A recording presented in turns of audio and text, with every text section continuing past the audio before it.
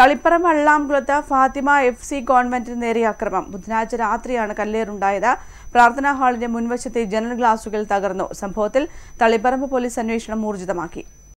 Taliparamba വെള്ളാംകുളത്തെ Fathima F C convent ladies ഹോസ്റ്റലിനു നേരെയാണ് കഴിഞ്ഞ ദിവസം രാത്രിയോടെ കല്ലേറുണ്ടായത് കല്ലേറിൽ പ്രാർത്ഥനാ ഹാളിന്റെ മുൻവശത്തെ ജനൽ ഗ്ലാസുകൾ തകർന്നു. രാത്രി ഒൻപതരയോടെയാണ് ആദ്യ അക്രമം. പന്ത്രണ്ട് മണിയോടെ വീണ്ടും കല്ലേറുണ്ടായി ഇരുപത്തിനാല് പെൺകുട്ടികളും മൂന്ന് സിസ്റ്റർമാരുമാണ് ഹോസ്റ്റലിൽ താമസിക്കുന്നത്. ഇവർ ശബ്ദം കേട്ടെങ്കിലും ഭയന്ന് പുറത്തിറങ്ങിയില്ല. രാവിലെ നോക്കിയപ്പോഴാണ് കോൺവെന്റിന്റെ പ്രാർത്ഥനാ ഹാളിന്റെ രണ്ടു ജനൽ ചിലുകൾ തകർന്ന നിലയിൽ കണ്ടത്.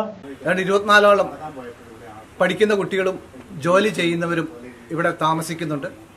ഇവിടെ അഞ്ച് സിസ്റ്റേഴ്സാണുള്ളത് അതിൽ ഇന്നലെ ഇവിടെ രണ്ടുപേർ മാത്രമേ ഉണ്ടായിരുന്നുള്ളൂ. ബാക്കി മൂന്ന് പേര് കണ്ണൂര് അവരുടെ വർഷാന്ത ധ്യാനത്തിന് വേണ്ടി പോയിരിക്കുകയായിരുന്നു.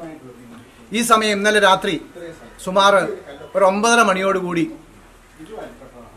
ഈ ഗേറ്റ് ചാടിക്കടന്ന് കോമ്പൗണ്ടിൽ അതിക്രമിച്ച് കയറി മൂന്നോളം ആൾക്കാർ ഈ ഹോസ്റ്റലിന്റെ മുകളിലത്തെ കുട്ടികൾ താമസിക്കുന്ന ജോലിക്കാർ താമസിക്കുന്ന മുകളിലത്തെ നിലയിലേക്ക് കല്ലെറിയുകയും ഈ കല്ലേറുണ്ടായപ്പോൾ കുട്ടികളും അവിടെ താമസിക്കുന്ന മറ്റ് ഇൻമേറ്റ്സും നിലവിളിക്കുകയും അവർ ഭയപ്പെട്ട് കഥ അടയ്ക്കുകയും ചെയ്തു.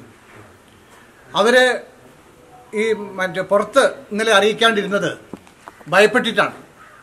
എന്നാൽ രാത്രി സുമാർ ഒരു പന്ത്രണ്ട് മണിയോടുകൂടി എന്തോ ഒരു സൗണ്ട് കേൾക്കുകയും അവർ പേടിച്ച് വീണ്ടും പുറത്തിറങ്ങാണ്ട് ഇരിക്കുകയാണ് ഉണ്ടായത്. തലശ്ശേരി രൂപതയുടെ കീഴിലുള്ളതാണ് ആ convent mother in charge sister ജോത്സ്നയുടെ പരാതിയിൽ തളിപ്പറമ്പ് പോലീസ് കേസെടുത്തു. സംഭവത്തിന് പിന്നിലുള്ളവരെ കണ്ടെത്താൻ അന്വേഷണം ഊർജിതമാക്കി. News bureau Taliparamba.